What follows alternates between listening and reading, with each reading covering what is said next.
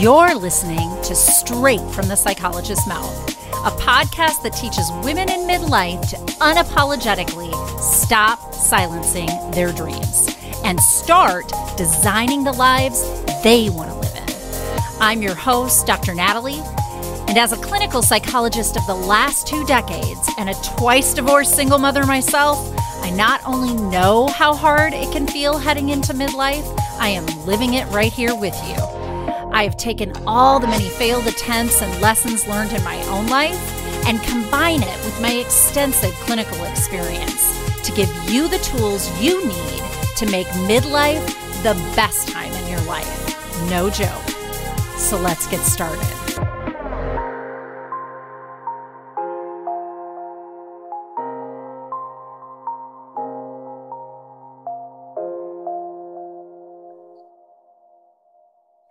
Welcome back, everybody.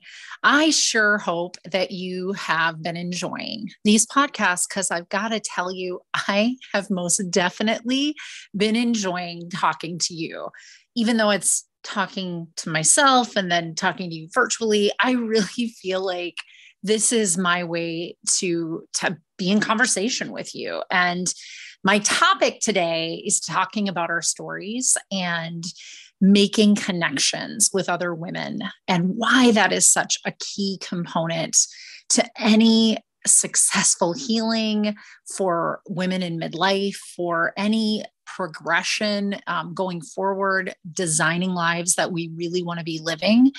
We're going to have to be in a community of other women doing the same thing. Otherwise, we'll get real lonely.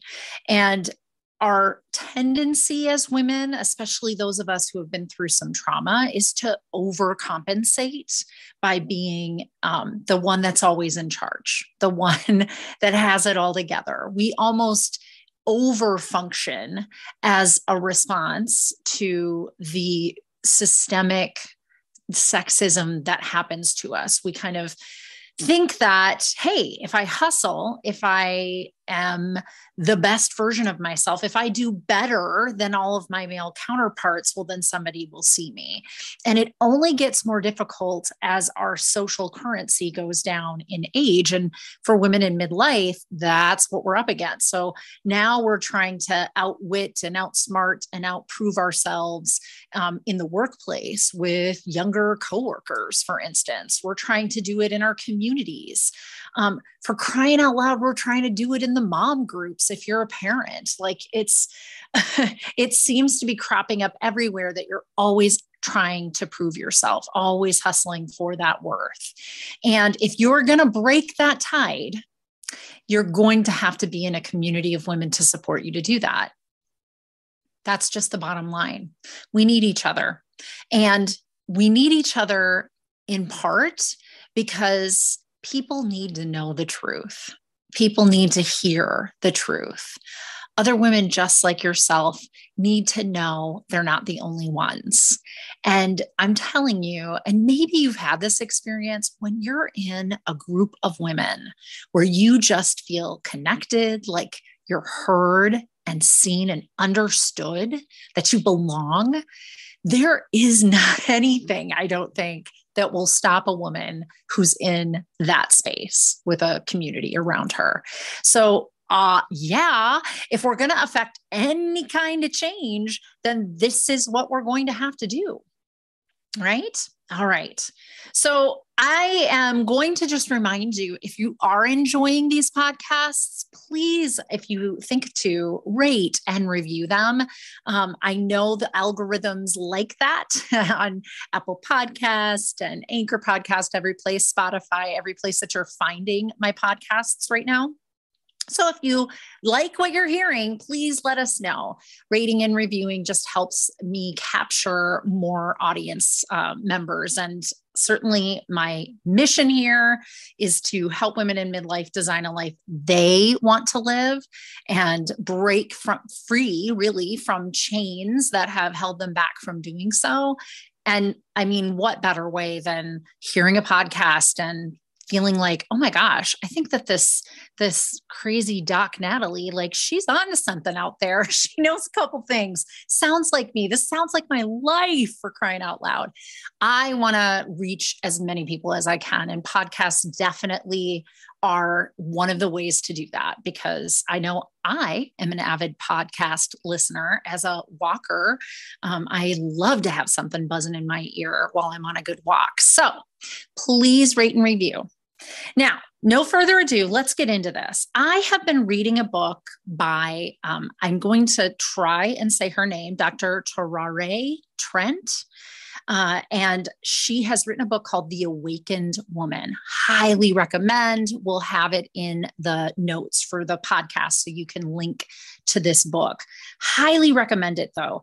She's really talking about trying to light that fire, rekindle that fire of your creativity and really what your purpose is, why you're here in the world, have you really realign with what it is that you want to be doing, that the life you want to be living, not a life that you were told, this is a great life, you should live it.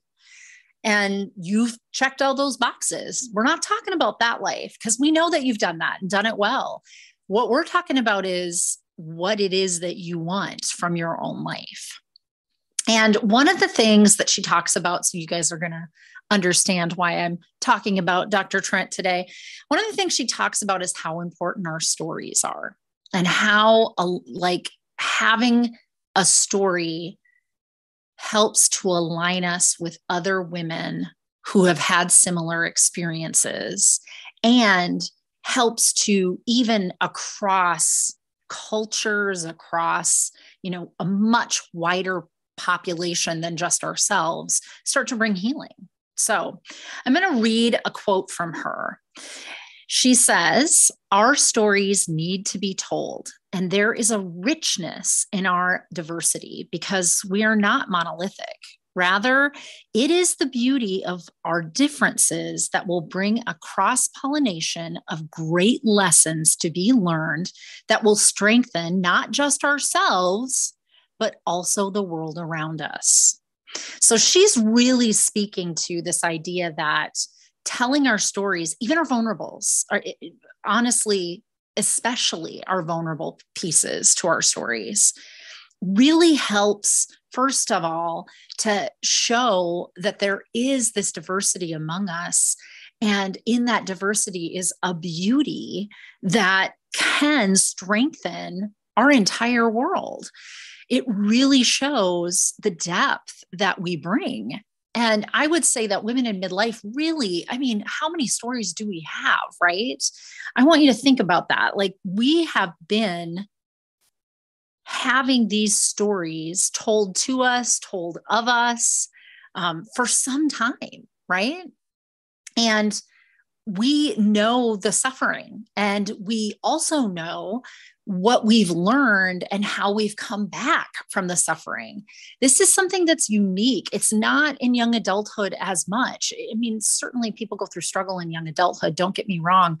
What I mean is, I mean, we've seen some stuff, we've been through some stuff, we've gone to the mats and we've had to get back up again and several times by this time in our life. And so the wisdom that we really have here is how can one do that?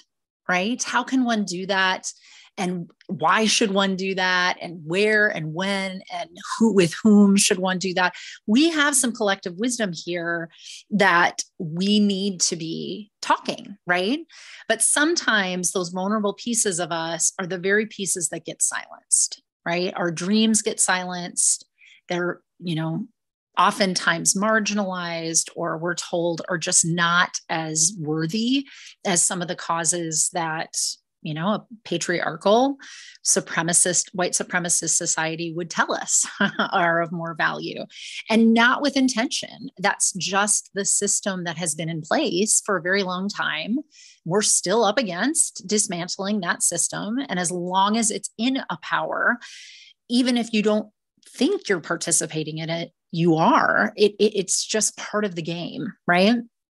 So, another quote that she said is We might say the world oppresses women by silencing our voices, But the inverse is also true. The world suffers in many cases without knowing or acknowledging it, without women's voices.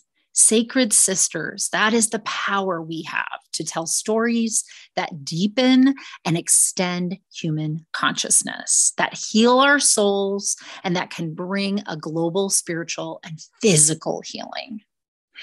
What? I mean, her words just sing off the page for me. And I uh, wholeheartedly agree with Dr. Trent. I think that when women start acknowledging one another and hearing their voices with one another and then start to then extend that out into the human consciousness it, it creates change. And i'm going to case in point and i'll try to send a link for this as well. Um, i think it's called she said or she says. Uh, there is a, a new movie i believe through nbc or peacock or something of that nature. You there is this movie about the movement that happened when people started to report the sexual abuse, sexual assault, sexual harassment by Harry or Harvey Weinstein. What was his name? I don't even remember his name. You know what? I don't care. Harvey, I think it is. Dr. Or it's not Dr. Uh, Harvey Weinstein uh, was a producer in Hollywood. And as people started to come forward, and it took some doing, it created a tidal wave. And it wasn't just with what happened because of a result of him. I think if you remember correctly, you started to see several men in the public eye um, start to be called on their poor sexual behaviors in the workplace, their sexual harassment in the workplace, which doesn't always have to have a sexual connotation to it. It is sometimes just the sexism itself. Um, there was like a reckoning that began. So you can see how it starts small with just saying our piece, speaking our piece. I think the original article only quoted about you know four different people of course ashley judd was one of them and so that was certainly why it got the notoriety that it did but it created this tidal wave i mean absolute tidal wave of change that continues to this day. And that is a really great example of why we need to stop being silenced and start to tell our stories. And here's the thing I know about women ask a woman who has had a child about her birth story when she had her child. And you will get an earful. I'm not lying to you. Ask, you know, a group of women that, and you've got a full on conversation for hours where that we just keep reliving that that we went into labor and then this happened and then this happened and then this kiddo came or i had to go and have an emergency c-section. I eh, ask them and you will be pulled into a, a litany of details in this conversation. So women know the power of talking about suffering and owning suffering and then actually feeling like transcended from that. Now, obviously, with birth stories, you know, many, many times that the joy is on the other end of it, there is a child. Sometimes uh, that's not very joyful. People do have postpartum depression. However, it's a it's an easier version of suffering to be commiserating with other women about when the end game was a positive one. However, this is why I think that women in midlife are poised to really help us with their stories. Because yes, we've had suffering and we are in a part of our life where we have transcended that suffering. Many of us, many of us have learned how to muscle through it and why it was such a gift, why our discomfort was such a gift, and how it helped us to grow. And that essentially is what women are doing when they're all talking about these birth stories that they have and it's so cool. I've had a couple in recent history where it's it's cool now. I, I know enough people like that have adopted or when it's a um, same-sex couple and they're talking about their birth story which could have been with a surrogate it could have been with one of the partners. It's like so neat to hear people talk about it but it is a trial it is something that is difficult to get through uh, yeah i've done it twice difficult to get through and yet we want to share that and we want to feel equal even in our diversity. We feel heard and seen and understood in our stories when we talk to other women with their stories. We exchange information. I want to hear you. I'm invested and a good steward of listening and believing your story for what you're telling me. And you are invested and a good steward of listening and believing in the story that I'm telling you. And it is that kind of psychological safety that occurs um, in conversations like this that will create the tidal wave that you saw um, with you know what the movie was showing you um, happened after these women came forward about the sexual harassment at Miramax. So, and sexual assaults. Um, so, I want to talk about this a little bit more because I do think, and I've written some blogs about this. I'll also link that. But I do think that there is just a real gift and guidance that comes from our stories of suffering. They are great equalizers. So I don't really care what walk of life you come from, what level of marginalization, oppression, or privilege you come from. When you're commiserating on a, a topic of suffering with somebody else, you feel heard and understood at a very guttural, visceral level much more quickly than listening to somebody fill you in on their life story as like a, a topical, right? So if you asked me, you know, tell me a little bit about yourself, Dr. Natalie. And I just go through, well, I was born and raised in Minnesota, and here's what I did for school. And later I worked in group homes, and then I went back to grad school. And then I started with the state hospital system, and I worked there. And then I worked in community mental health. If I started to tell you my human doingness, it, it, it doesn't engage us and it doesn't help you feel heard and seen, right? You're just hearing me give you my autobiography, essentially. So, what happens in these birth story kind of moments, and what can happen when we talk about our suffering and vulnerability is that we feel heard and seen without the person ever even touching us. I could say it here on the radio waves of the podcast, and you might be sitting at home and think, oh my gosh, that's exactly what I've been through, and feel heard and seen and understood by somebody you've never met, me, right? So, how does that happen though? Like, what's the difference or the quality of the story? Well, it usually is because it, at the root of it, it's about suffering. And so there's so much more than what's in the language, right? There's so much more than just what we're saying in the words. So I have been through some significant grief in my lifetime. I became a therapist at the same time that I lost both my parents uh, about nine months apart. So, and for different reasons, different terminal illnesses, and uh, not related to each other at all. They weren't even married at the time, they were divorced uh, and lived in two different states. But I lost my parents nine months apart from one another. And I, you know, really had to reckon with that level of, of grief and being orphaned in my early 30s as I was progressing as a therapist. And I've since then become a, a bit of a specialist in the grief realm or topic because it because of its significance because of its importance.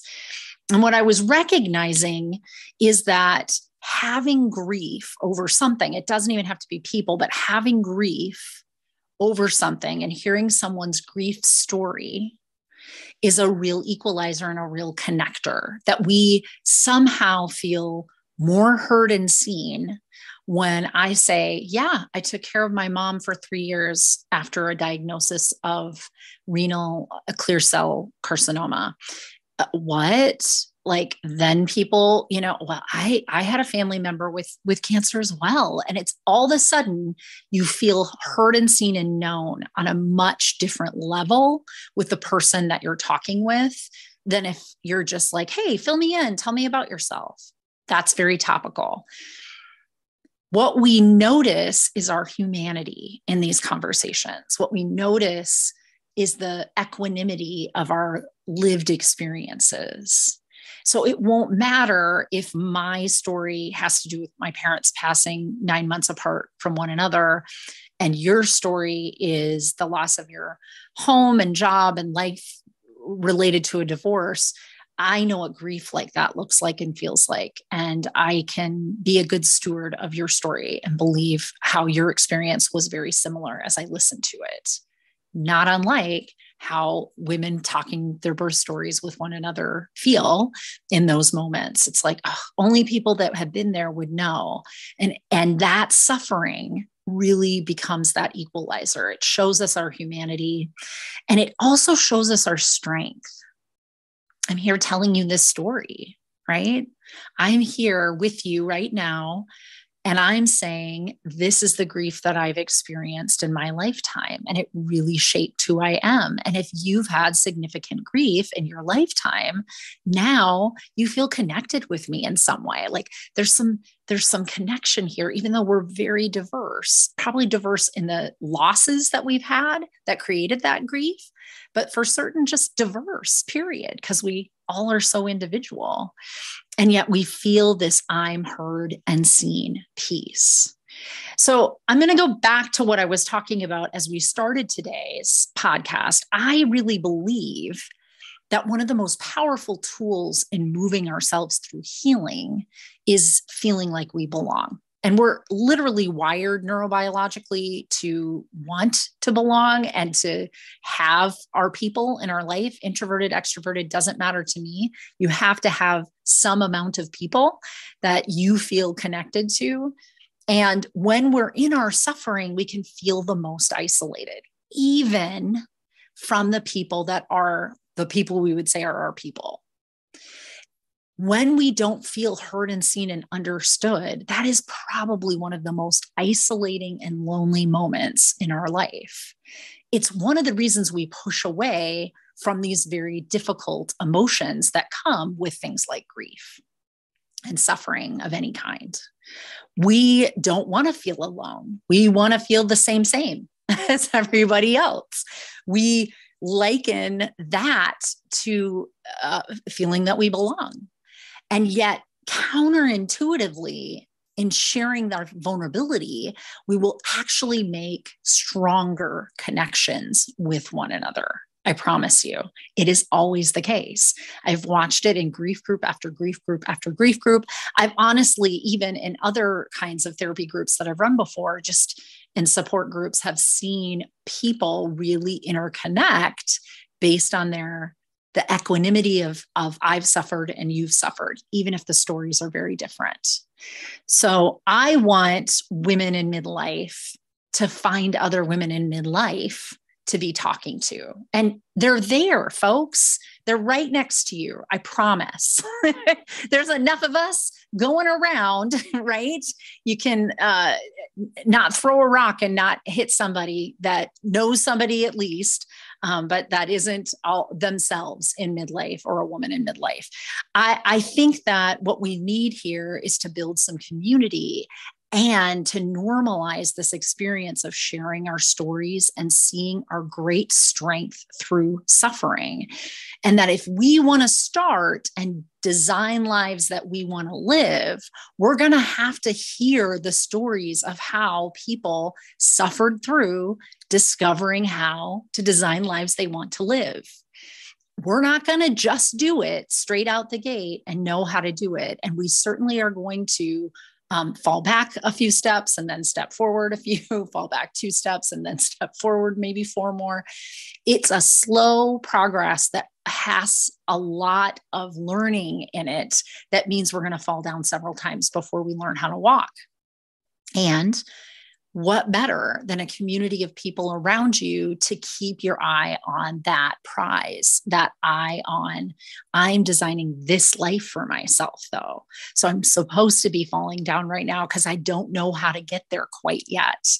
And sometimes I need to sit and listen to somebody else's story where they say they fell down that way too and it looked different and it was under a different context and with different levels of resource. However, I feel heard and seen and understood. And it doesn't have to mean that you're sitting down with women just directly in your life, although I encourage that, I do. I also think that you can get this kind of community online. And I think that COVID really showed us the ingenuity of we need to create community in different of different levels and scales so that we always feel connected. And we've got these little mini computers in our pockets called cell phones uh, and smartphones. It, some of them look like galdarn tablets. my, one, my brother has a new Samsung Flip, but it's it's like two iPhones side by side when it flips open. It's legit a square tablet. I don't, I'm whatever. I mean, we're old and need to see big print. So me and my siblings. So I can see why he has to have that. But anyway, I, I, digress. But we have these computers in our pockets, and and there is always a way to create connection that way. So I offer out, of course, learn to love your story.com, the free group coaching that I'm going to be doing all of 2023.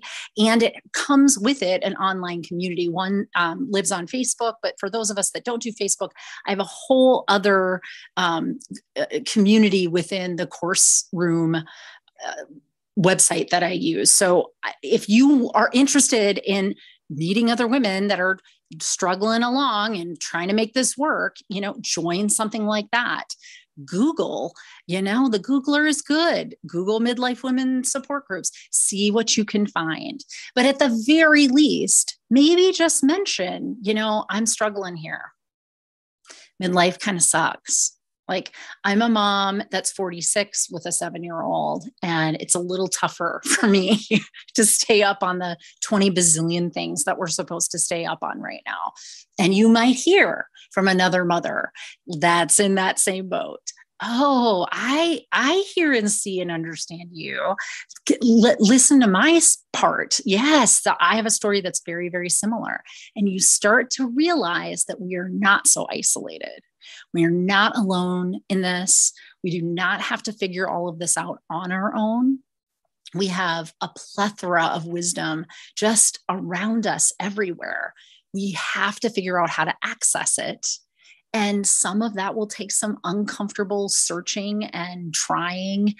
You know, maybe an online group, it works. Maybe it doesn't. Maybe an in person support group would work. Maybe therapy would work. Maybe, you know, joining some sort of community volunteer. it doesn't really matter where you find. You need to start telling your story and you need to start hearing your story and other people's stories. And that, my friends, will create that collective, that collective suffering that turns into strength, that collective humanity where you feel understood and heard and seen. Okay, I'm going to end with one more quote from our lovely Dr. Tererai Trent. She's talking here about how even though we come from very diverse backgrounds and our circumstances for our vulnerable stories might be different, this is what she says about it. The distance between these women collapses, as do geographical, political, and cultural borders that may divide them. Our stories have power because through them, we embrace our collective vulnerability and worthiness. When you share your pain and resilience, and I share mine, we become one. So I'll leave you with that. Have a great rest of your week keep following me. Like I said, also rate and review this podcast if it's something that you're enjoying so that I can get more of them out there and get my word out to more women so that we can be one, so that we can collectively be sharing our suffering and our strength, our vulnerabilities and our worthiness, and start not to feel so isolated in our experiences. Have a great day and keep following me so you too can learn to love your story.